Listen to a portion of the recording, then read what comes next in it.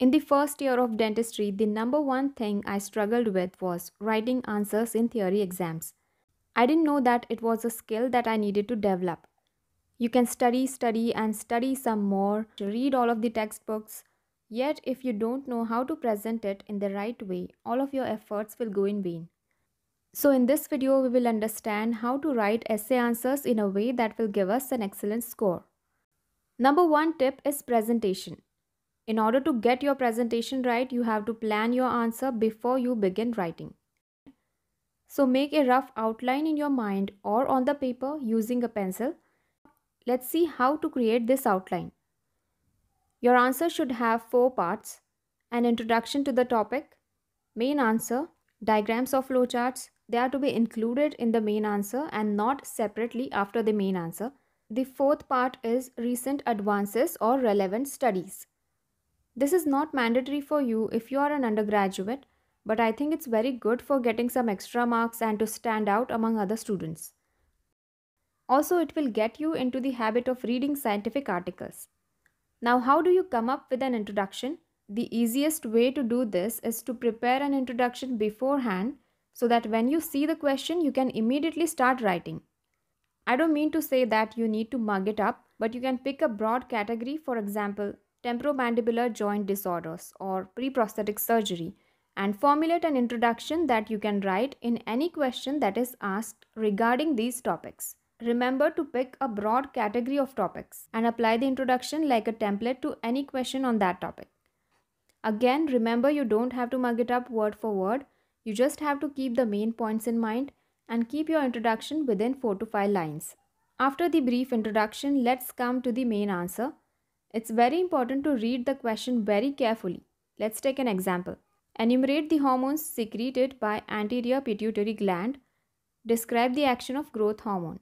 You must know the meaning of these terms. They are not asking you to write in detail about all of the hormones secreted by pituitary gland.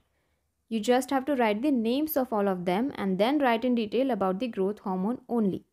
So always read what is exactly asked in the question and stay on topic.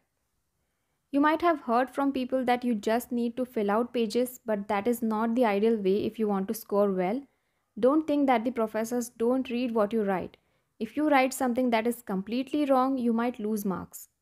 Divide your answer into multiple paragraphs instead of cramming everything in one paragraph. And underline the crucial keywords and definitions.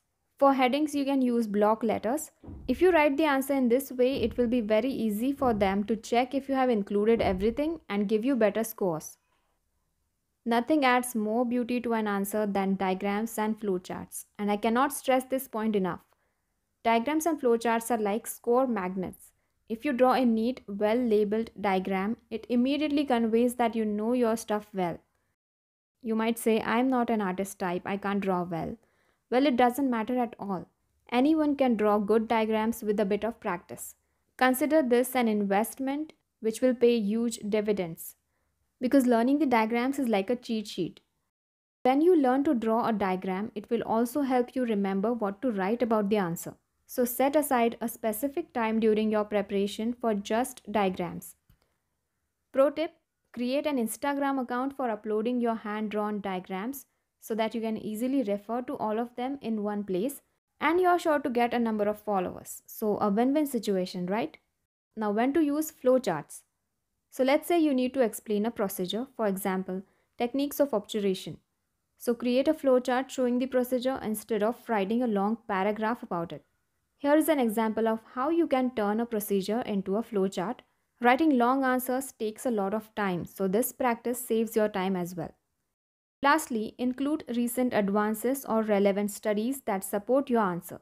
This is not as difficult as it sounds. As you did for the introduction part, we are going to create a template for this as well that can be applied to any answer. Write down one or two recent advances for each major topic. How to search for these? There are sites like Science Direct or Google Scholar.